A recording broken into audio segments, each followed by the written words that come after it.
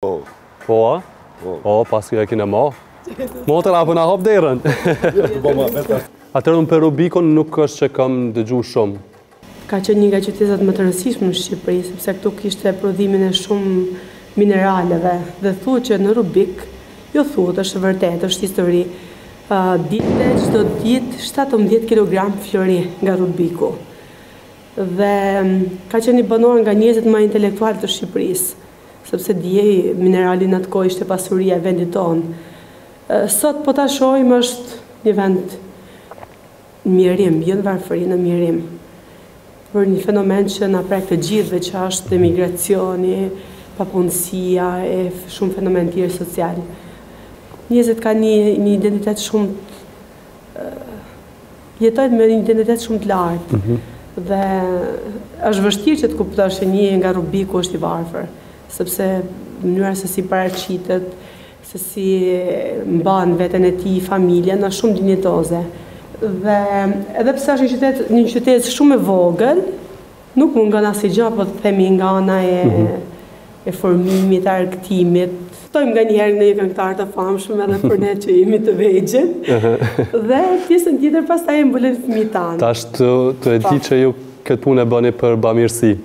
Edhe kur i ftoni artistat me nam, a vijnë me para apo i paguni? Artistat me nam janë nam, për fat të keq. Nuk pranojnë të vinë falas.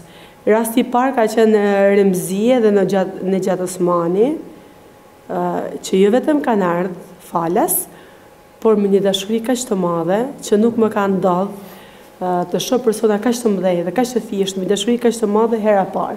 Dhe atë dashuri e kanë shfaqë në të gjitha mënyrat edhe këtu, edhe në një emision televiziv Ne nuk ju kemi dhuru asnjë gjë, përveçse këtë sallë shumë të thjeshtë për ata.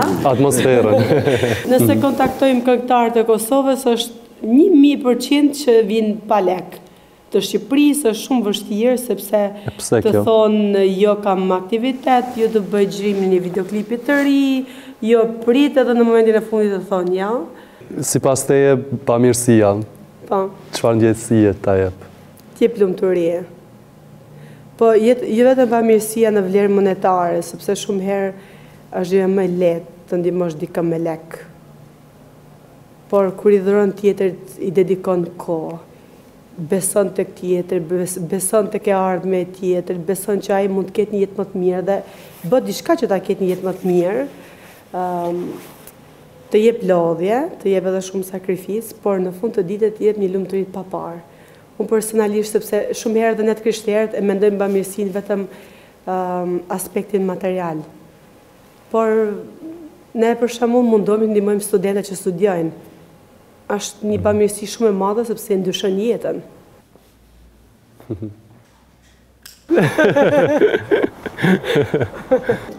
Gjoni, ju fola për ty.